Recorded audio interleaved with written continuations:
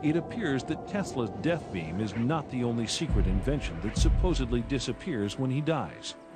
On July 4, 1976, the celebration of America's bicentennial, a strange new signal is monitored on ham radio frequencies. This high-pitched chattering is dubbed the woodpecker signal by the Central Intelligence Agency. They have no idea what it is, but they are able to triangulate its source to a Soviet transmitter in Latvia. The Soviets had experimented with creating artificial aurora. Not sure what their objective was, but uh, I think it was probably uh, designed to prove that you could uh, project very low frequency energy over the horizon, over great distances, and cause certain effects. You can induce virtually any effect that a chemical can cause in a living system with a, um, an external, primarily extremely low frequency magnetic field. My personal feeling is that primarily I think it was designed to communicate with their submarines.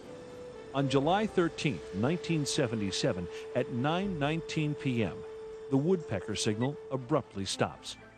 A strange corona forms around Edison electric power generators servicing New York City, and the entire city is suddenly plunged into darkness, creating chaos and confusion. The blackout is similar in its effects to Tesla's Colorado Springs experiment that overloads and sets ablaze the local electrical power plant. Uh, you know, things start to brown out. Uh, uh, we started seeing very strange things happen to New Yorkers who went berserk. Uh, it was literally absolutely dangerous to be there in New York City. And was a headache for police and, and who knows, all the security people around.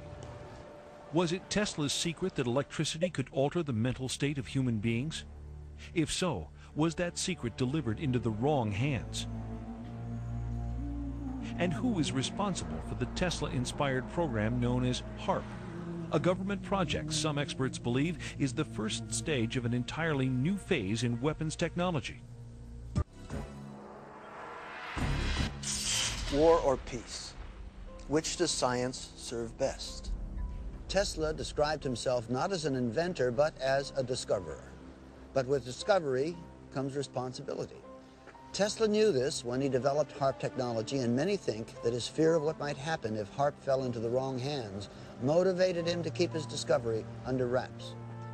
HAARP exists because Tesla theorized back in the 30s that he would be able to stimulate the magnetic field of the Earth in such a way that he would actually be able to create a shield around the city. HAARP is um, basically a design experiment in terms of atmospheric physics where a large array of antennas, it's not just one antenna, it's a very large array, it covers several acres, um, are broadcasting into the ionosphere of the planet a very, very complex series of waveforms. And these waveforms are designed to specifically couple in with the ionosphere, which is a resonant cavity. This concept involves heating up the ionosphere in a manner similar to a giant microwave oven. That a small input, like a pulse of a certain number of watts in, can create, create a large output because whether accidentally or intentionally, it's possible to tap into this sea of energy around us. It surrounds us and goes through our bodies and is everywhere throughout space. HAARP's original designer conceives it as a shield for missile defense that can fry the circuitry of incoming bombs. HAARP was designed to, uh, for a number of applications. It really was not set up as a weapon. Uh, if you read the patents, I was thinking of ways to use it defensively. He also claims that by superheating portions of the upper atmosphere, HAARP can affect global weather patterns, a